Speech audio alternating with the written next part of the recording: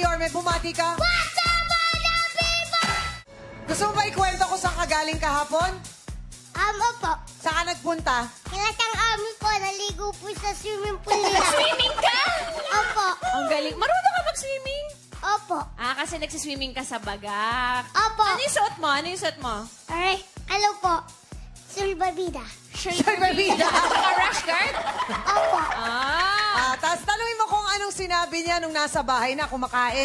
Anong sinabi mo kay mama mo nung kumakain tayo? Sabi mo, ano, ibigay ang alin? Yun, Yung ano po yung sukat? size ng damit ko. Bakit? Ah, magpapampula po ako sa inyo. Doon ka natitira. Kasi may swimming pool. Ah, Habang ganon. kumakain kami, sabi niya, Mama, bigay mo na yung size ng damit ko tsaka sapatos ko kay Chang Ami kasi dito na ako titira. Oh. Pwede ka naman dun tumira sa amin anytime, di ba? Bakasyon, ano? Bakasyon sa kasi bakasyon. kahapon eh. O, eto na, humanda ng mahumaling sa mga bibang chikiting dito sa...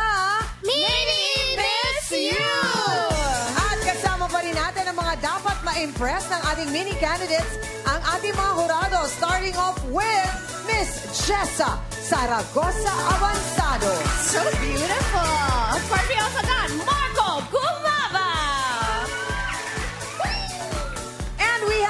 course, Miss MJ Lastimosa.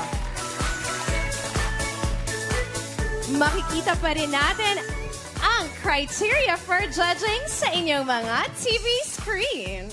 Kilalanin na natin ang mga bibida ngayong araw. Palakpakan natin si mini candidate number 1.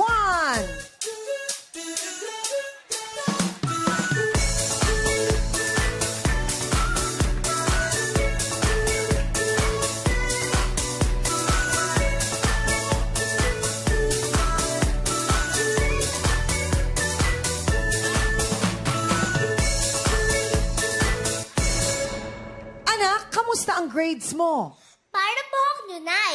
Bagong ribbon. Baksak na baksak. Hi, my name is Rihanna Villasaran, 10 years old.